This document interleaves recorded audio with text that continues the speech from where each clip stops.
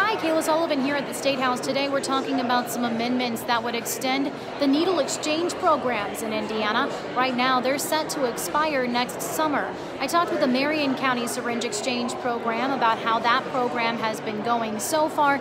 It's been open for about a year now. I'll have those updates as well as some of what lawmakers are saying and the governor of Indiana.